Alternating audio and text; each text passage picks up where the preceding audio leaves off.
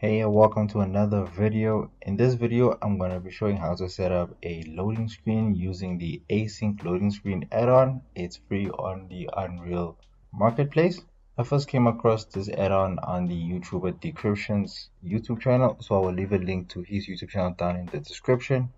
So with that, let's get started. So before we get started, we need to do something first. So in your Unreal projects folder, wherever the project is saved, it's usually in the Unreal projects. Then you go to the selected project, and then you're gonna go to the content folder. And then in here, we're gonna create a new folder. We're gonna call it movies. And then after creating the movies folder, we're gonna open it. And then in here, we're gonna add any videos we wanna use in the add-on. So I have two that I would like to use so I'm just gonna move them over real quick. I can't remember where I got these two from. The blue matrix I got from Pixabay or Pexels I can't remember which one. And then the UE4 startup I can't remember exactly where I got that one from. So I can't leave the link to either one of these in the description. And then I'm just gonna copy them over to the folder. And then with the two of them in the movies folder can now close this? And then you're gonna open up Unreal Engine. So now with Unreal open we're gonna check and see to make sure that everything is fine. So if you go to the content folder, you should see one that says movies. And if you open this, there should be nothing inside. It, there's nothing wrong. It's not an error or anything. This is just the way it's meant to be. Just know that it is in here. If you actually, if you click on the movies and then you say show in Explorer, then it should show up like this to show that there is files in here despite the fact that there is nothing in the folder itself but with that that's fine. And then what we're going to do is we're going to go to vehicle template. And then in here I'm just going to create two new folders. One is going to be loading background images. And then the other one is going to be loading throbber with these two the this one over here the images that I'll be adding in the loading throbber will be the images that I created in the custom loading throbber videos okay so I've brought in the images then we're to save all and save selected and then we're to head back and then we're to go into the loading background images. And then I'm also to bring in a couple images. All these images are from Pinterest and then I'm just to save all again. And then from here we now have everything going to go over to settings and then plugins and then if you have downloaded and just come in here and look for async it should be the async loading screen. And then you just select it and then it's going to ask you to restart. Then you have to come back into unreal engine close that and go to settings again. Then you go to project settings.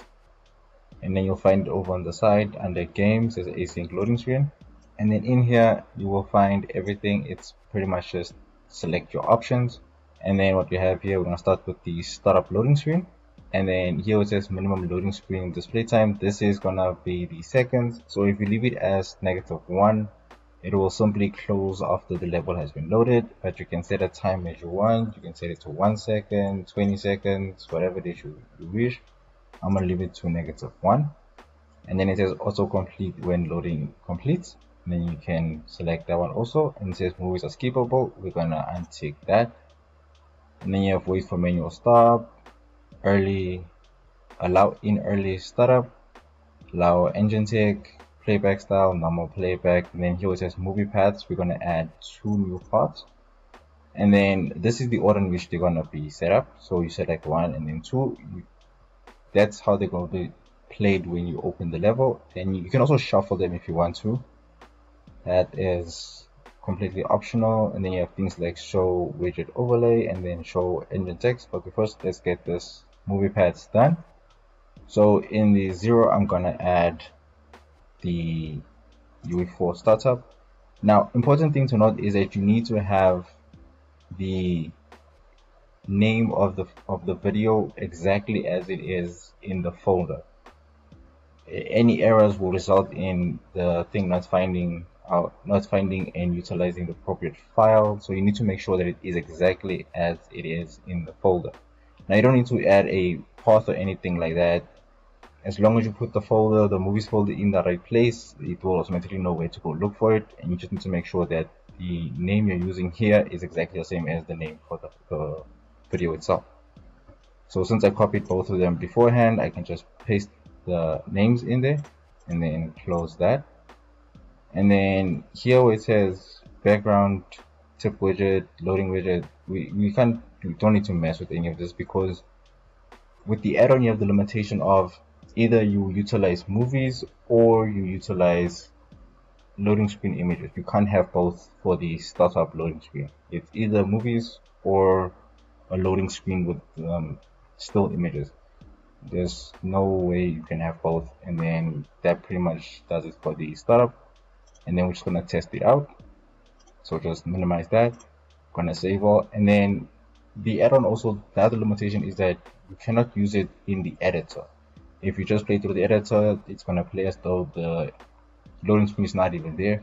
What you need to do is come up to the top click on these three buttons and then select the standalone game. And then as you can see there it has the video the two videos and then after it's done loading you will then be brought to the main menu uh, that is working and now we're gonna continue on with the rest. So now we're gonna head over to the default loading screen. And then here you have the same thing as well. I'm gonna set mine to 10 seconds just so we can see the loading screen. And then it says autocomplete when loading is done. I'm gonna untick that just so that it can so we can see the results. And then movies are skippable. We're also gonna untick that and then you have the same options here again playback movie path you can also use movies for your loading screen. We're not gonna do that. Shuffle thingy. And then we're gonna go down to the loading complete text. This is where you add text. If you would like text to appear on the screen we're not to do that. We're to go down to the background. And then here where it says images we're to select five new images because I have five images and then you just select them all one by one until they are all in. Unfortunately you can't uh, select multiple and just drag and drop it. You have to do it this way. And then it says image stretch scale to fit padding is any kind of padding on the surround which is the same thing that would happen in something like the widgets. The same padding applies here. You have the background images. We don't need any of that. And then here we have a tip widget here you can add tips for the player uh, if you would like to. Uh, the alternative would be if you have custom background images you can usually have the tips embedded in the image itself then you don't need to utilize the tip widget. But if you don't and you would like to use this you can use it. I'm just going to add a couple tips. But before I add the tips, other settings, you have the color and opacity, you have the font, so you can change the font. For the tips, you have the shadow, so you have like a drop shadow effect that you could add also. And you can also change the color of the shadow and the opacity of it. You have the justification where the text will align. I'm gonna set it to the center. And then you have the text wrap at. This is the size of the tip before it's wrapped to the next line. I don't know what that is. I'm assuming it applies to if you have really long tips on screen. And then says set split tip text manually. If true, you will have a manually set text tip index that you want to display in the loading screen. So I'm guessing this is uh, if you would like to adjust them yourself. Obviously, this whole thing is in C++. If you would like to make adjustments, if you're proficient at it, you can do so yourself. So now I'm going to add the tips and then we're going to move on to the next set of options okay so I've now added my three tips and now I want to move on to the other options we have the loading widget and then here you have your options by the loading icon type. You have the throbber circular throbber and then image sequence. We're going to use the image sequence because we created a custom loading sequence. And then you have loading widget type horizontal vertical. I'm going to leave it as horizontal. And then you have transformation translation. I'm going to leave it at zero for now. Then we have the transformation scale. We're going to leave it at 0 for now. The transform pivot, to leave it at 0.5 for now as well. The loading text, I'm to take this out. I don't want it, don't need it. And then you have the uh, loading text right position, top position. Going to untick that. And then we have the appearance, which is just for the text, for the loading text and then you have your throbber settings, circular throbber settings, and image sequence. Each one corresponds to the type that you have selected. Since we have the image sequence, we're gonna go to the image sequence settings. and then in here here you can actually drag and drop. So we're gonna do exactly that. Gonna head back. Then we're gonna go to the loading throbber and then just control a everything. And then just drag this back and then select the first one and then just drag and drop it over all the images. And then now we have all the images selected. So it says images where it says array elements. Just drag and drop it over here. And then it's also going to ask you for the scale. We're going to leave that as that for now the interval we're not going to mess with any of this. Sometimes you might need to make adjustments but we'll find out as we go along. And then we have the text alignment. We're going to leave this alone for now also. And then you have the loading icon alignment as well. Going to leave this at the center. And then you have the space we're going to leave it alone. And then the hide loading widget when completes going to leave that as well. And then here by the layout you have five different layouts. You have classic center letterbox sidebar and dual sidebar. All of those can be found in the documentation for the add-on. It will show you exactly what each one looks like. I'll give you an example. I'm going with the center and then with that we're going to close this again save all and then see how it looks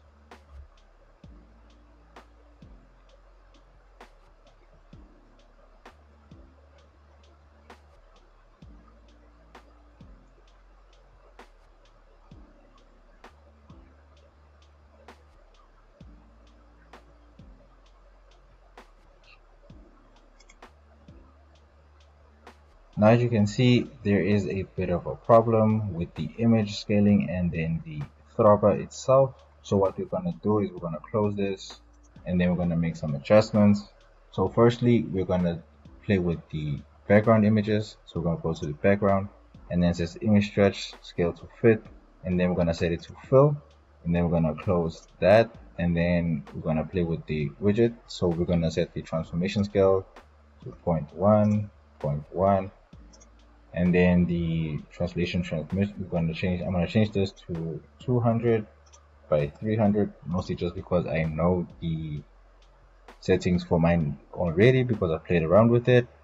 But for you you'll have to play around and figure out exactly what it is that you want. If you have if you follow the two videos the custom add-on then the image size for your throbber should be 1920 by 1080 which means you can use these as well because it would be the same so we're to close this. We're going to go over to another map. We're to head over to the garage map. Now the reason why I went over to the other map is that when you launch it as a standalone it will open in the map that you have in the editor by default. So you don't go with your settings in the product settings. It will go with the editor. This is just because it's standalone and then this also cuts down on the time that we have to spend before we can see the loading screen again. So we're going to head over to race and then sprint. And then as you can see the throbber is down here. It's been scaled down. And then now we have the image that fits properly. So that's fine. And then close that. So everything is working fine. But then I saw my tips aren't working. So I'm just gonna fix that real quick Okay, so I fixed the tip problem. It was simply just a matter of the color and opacity. It was white before, so with the white background for the tip area, I just changed it to black and then now the tips should show. So we're gonna close this real quick. Oh, also, if you have the same problem like what I encountered with the images taking a little long to show up, you can select the preload background images and then set that to true and then now if you play the standalone so now you can see the images loading quicker and then your tips are at the bottom and then your throbber will be wherever it is you assigned it to mine is over at the bottom right? That is pretty much everything for this video. As I said, the limitations for the add-on is that every time you make adjustments, you have to open up the standalone window you can't do it in the editor. And yeah that's pretty much it. That's the one downside to the add-on. But other than that it works fine. There's no problems.